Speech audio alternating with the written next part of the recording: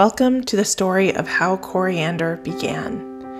Many years ago, a woman named Michelle decided that she was not suited for life among only people. Hearing stories of places where animals walked and talked, wore clothes, and could converse with humans was what led her to the island of Coriander.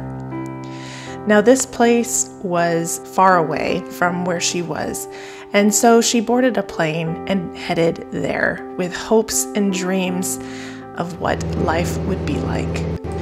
Once aboard the plane, she met the pilot, which was a dodo bird, as well as her fellow islanders, Deirdre the deer and Louie the gorilla. Once at the island, she met Tom Nook, a raccoon, along with his two cohorts, Timmy and Tommy, who were also raccoons, who had initially prepped the island for the new islanders.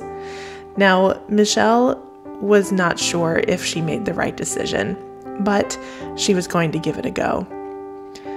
Many years later, her great niece, also named Michelle, came and visited and saw what a wonderful place Coriander had become, thanks to Michelle and the fellow villagers.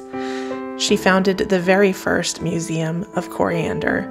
She also brought the first tailor and also the first shop called Nook's Cranny.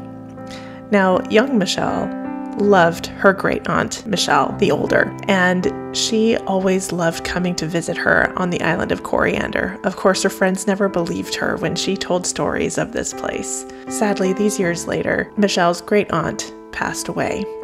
Michelle the Younger received a phone call from Tom Nook relaying the sad news that Michelle the Older had passed away in her sleep at the age of 97, though she didn't look a day over 30. Michelle the Younger was beside herself, knowing that she would never be able to see her beloved aunt again. A week later, she received some mail that told her that her aunt, Michelle the Older, had left her all of her belongings on Coriander.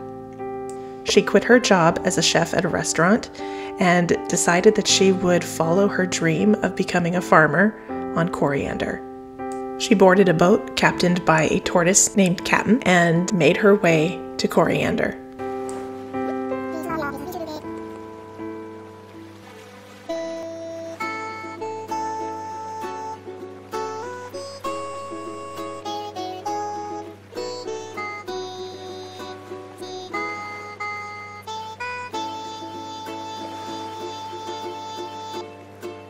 And so she vowed, despite her bittersweet beginnings on coriander, she would make her mark and she would make it her home. The end.